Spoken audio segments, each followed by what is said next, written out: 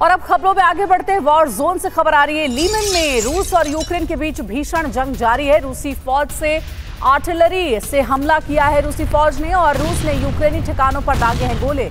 रूसी हमले में यूक्रेन को भारी नुकसान पहुँचा है।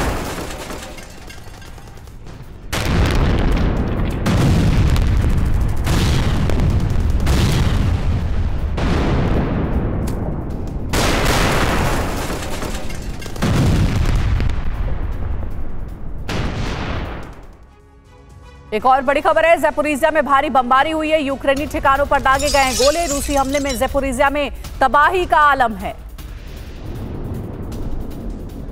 तस्वीरें आपको दिखा रहे हैं। जेपोरिजिया में भारी तबाही मची हुई है, क्योंकि एक के बाद एक यहाँ बम बरसाए जा रहे हैं। बमबारी हुई है, यूक्रेनी ठिकानों पर गोले दागे गए हैं।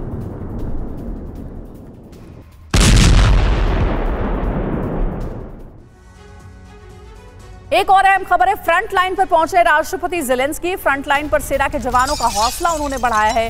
कुपियांस्क लीमेन में जवानों के बीच पहुँचे जेलेंस्की। जेलेंस्की ने टैंक और हथियारों का निरीक्षण किया है।